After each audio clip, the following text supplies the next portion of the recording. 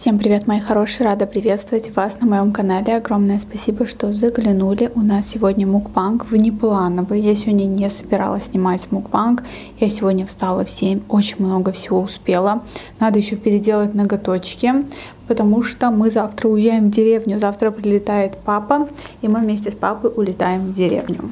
В общем, сегодня у нас вот такие тосты. Я вам их показывала в инстаграме. Я решила, что тост это будет как-то маловато, потому что когда я заказывала, вообще на фотографии они выглядят очень круто. Но в жизни я бы не сказала, что это выглядит настолько классно, как на фотографии. Но будем надеяться, что это хотя бы вкусно. Поэтому я решила добавить сюда незаменимый мой любимый Биг Бон. Вот, собираем потихоньку вещи. М-м-м. Вкусно. Даже очень вкусно. Здесь у меня самые обычные кофе 3 в одном. Очень вкусно. Прям только что привезли. Вы знаете, что я поняла? Я хочу кофемашину. Нормальную, хорошую.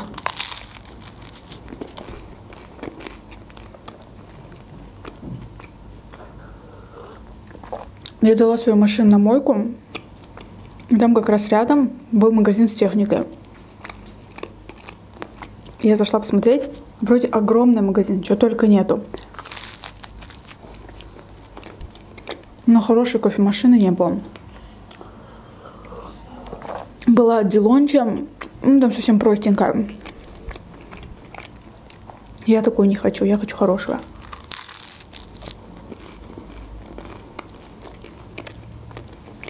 Внешний вид обманчив. Очень вкусно.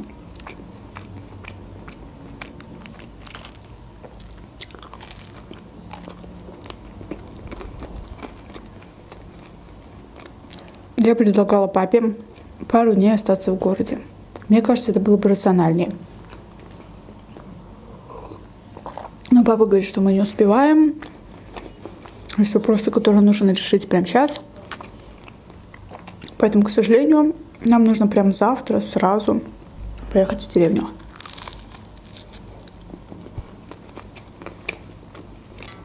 Но я хорошенько помыла машину. Потому что папа не видел машину.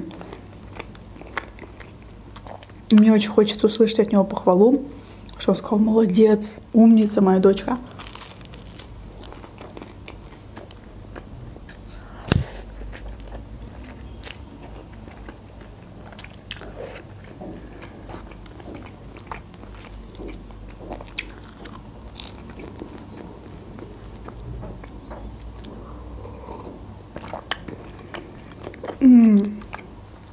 Очень вкусно. Хоть внешний вид меня немножко разочаровал, но по вкусу это очень вкусно. Это уже с сыром и курицей.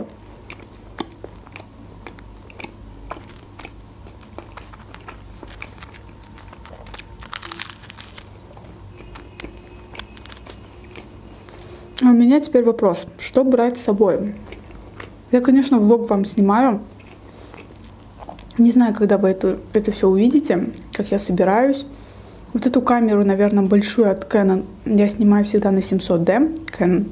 Ее брать я не хочу, я просто возьму влоговую камеру, потому что в новой влоговой камере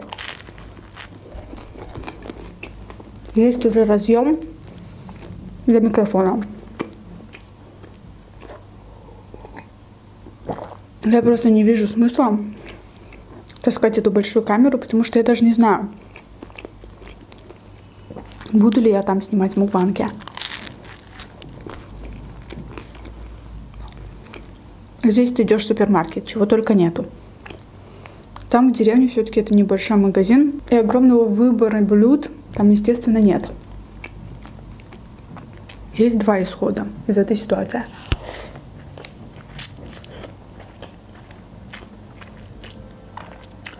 Горячо. Либо я буду для вас снимать какие-то супер бедные мукбанки. Ну как супер бедные. Вот я сажусь кушать, что я кушаю, то и снимаю. Хотя бы редко изредка. Потому что я не знаю конкретно, сколько времени я буду находиться в деревне. Папа прилетает, получается, на месяц. Мне хочется провести как можно больше времени с папой. А папа хочет провести это время в деревне.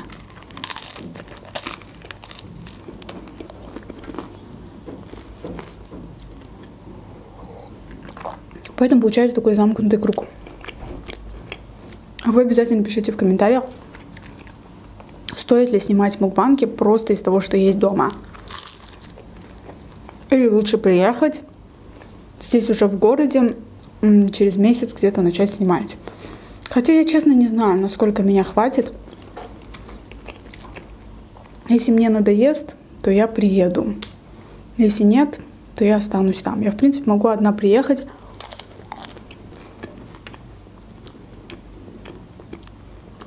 Карандаш так ужасно смотрится. Я насмотрелась у девчонок, которые пользуются темными карандашами и делают такой контур. Решила, что мне тоже необходим этот карандаш.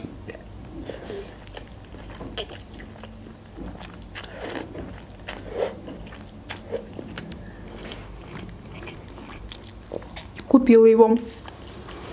Сейчас я смотрю на мукбанки, как-то не очень смотрится.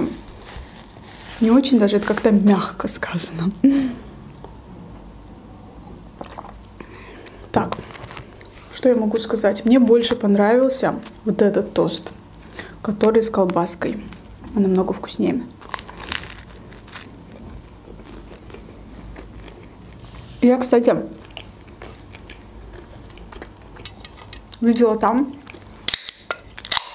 в доставке, там было написано положить эм, острый перец. А я думала, что они внутрь будут класть. Поэтому нажила без острого перца. А потом я увидела там, оказывается, они просто рядом кладут этот острый перец и им закусывают. На себе я знала, я бы взяла этот острый перец, потому что он безумно сочетается и будет сочетаться с этими тостами. Просто когда они сами на свое усмотрение кладут острый перец внутрь, получается нереально остро.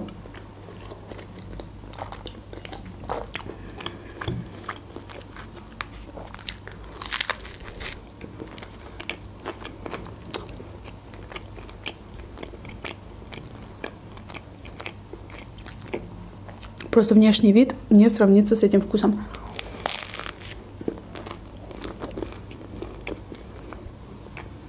Я не сильно голодная была.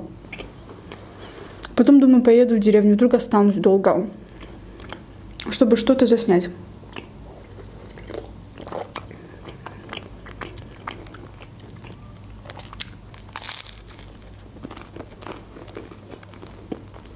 Твикса мы, естественно, берем с собой. Обязательно, куда же без него. Надеюсь, он наконец-то найдет общий язык с соседскими котами. Либо я буду за ним ходить, охранять его. Личный телохранитель моего сыночка.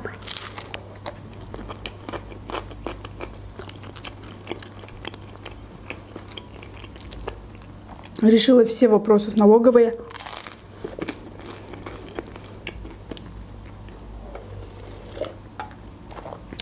И все, готова ехать. Погода уже потихоньку исправляется. Уже сегодня было очень жарко. Вот я спускалась брать доставку вот в этом виде. И было абсолютно не холодно. Не знаю, как будет в деревне. Но мне кажется, плюс-минус так же. Может, чуть-чуть похолоднее. Я столько всего собрала, девочки. Просто столько всего, что я возьму с собой.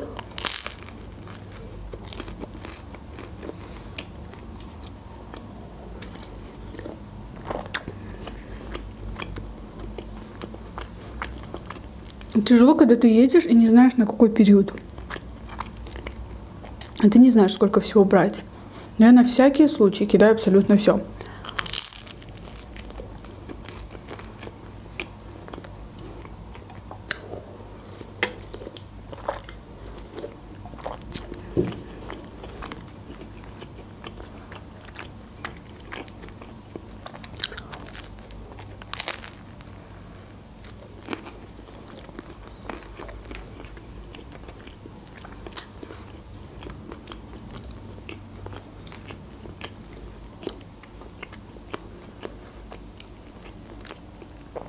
Из деревни обязательно каждый день или через день буду снимать для, для вас влоги. Брату сказал, брат тоже говорит, остались бы несколько дней здесь, пошли бы куда-то, как-то отдохнули. Но папа говорит нет. Но если папа что-то решил, у него такой характер, если он решил так, то так и будет.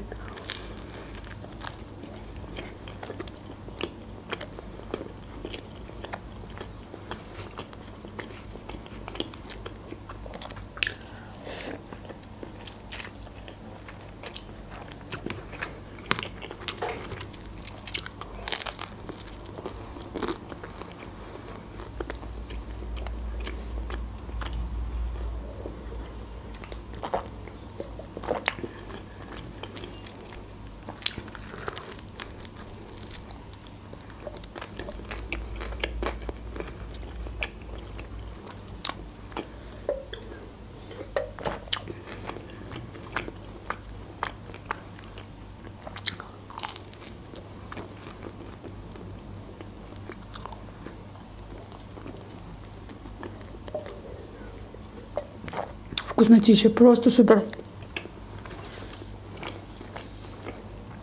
По идее, я с этими ногтями могу поехать. Просто я боюсь, что уже там что-то сломается, потому что уже недельки две, недельки три уже точно я хожу с этими ногтями. Поэтому пора что-то делать. Сегодня сходила на лазерную эпиляцию. Мне так хорошо сделали процедуру. Чисто на лицо пошла.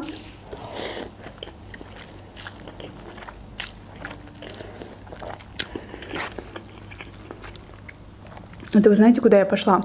Куда я раньше ходила, где очень дешево делают. Вот, пошла туда.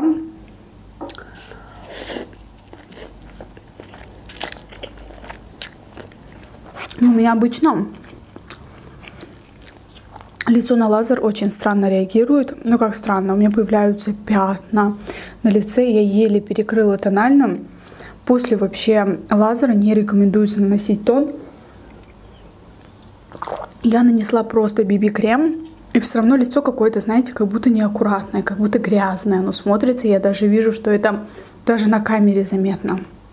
Я совсем легенький тон нанесла, еле скрывающий недостатки. Вот. А так вообще не рекомендуется наносить тональный после лазера, там, по-моему, день. Не надо, нельзя наносить макияж.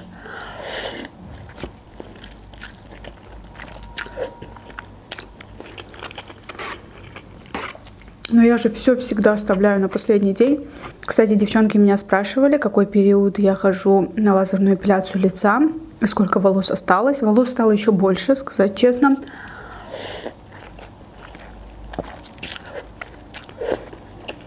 Почему? Потому что на лице у меня, знаете, такие желтенькие волосы были. А эти волосы как раз-таки лазер не берет. Со временем они становятся темнее. У меня так и произошло. И вообще говорят, что на лицо нужно ходить всю жизнь, потому что от этих волос избавиться невозможно.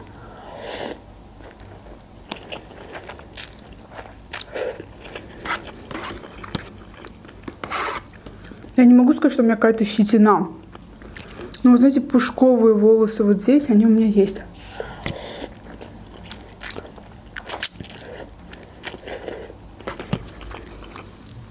Еще я делаю вот здесь, чтобы лоб казался побольше. Вот эти вот области убираю, вот здесь. Но избавиться от волос на лице с помощью лазера невозможно.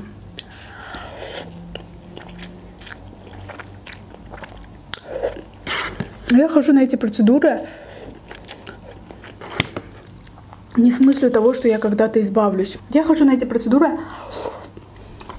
не с той мыслью, что я когда-то избавлюсь от волос на лице или на теле. Меня просто устраивает тот момент, что я где-то 4 месяца могу ходить спокойно, не думая о том, что у меня что-то там лишнее на лице. Для меня это такая же процедура, как, например, пойти на ногти.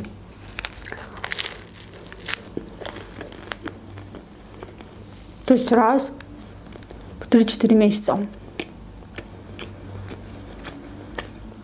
И у нас плюс эта процедура, она стоит очень-очень дешево, неоправданно дешево на самом деле, потому что эти аппараты, они стоят очень дорого. Но из-за просто огромной конкуренции они вынуждены снижать цены. Потому что на каждом углу салон.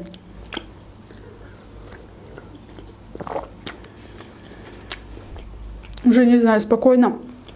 За 50 монат можно сделать все тело. 50 монат это 30 долларов. Потратить 30 долларов раз, например, в 3-4 месяца, я считаю, нормально.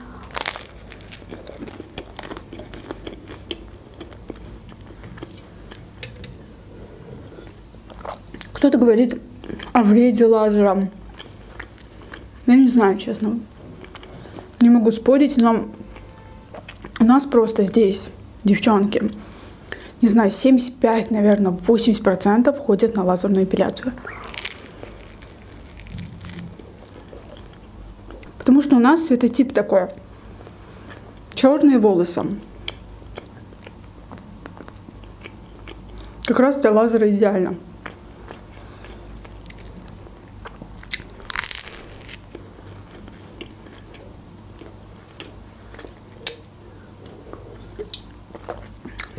Просто все абсолютно ходят.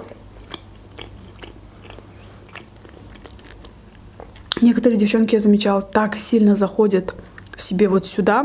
То есть, например, у них маленький лоб, они хотят, чтобы лоб казался побольше, и просят, чтобы лазером вот прошлись немножко поглубже, к примеру, да. И их волосы, в общем, выглядят как будто на них парик. Не очень. Даже когда появляются новые волосы, они супер прыжковые. Поэтому это просто кайф.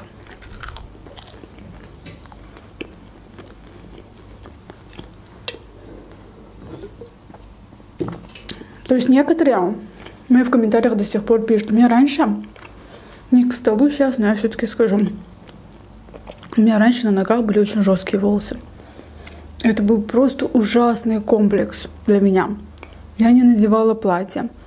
Я летом ходила в колготках, желательно в черных, чтобы это не было видно. А сейчас я решила эту проблему. Даже сейчас, когда у меня растут на ногах волосы, это просто пушковые волосы, такие же, как у меня растут над верхней губой. Так что просто шикарная процедура, которая улучшает жизнь.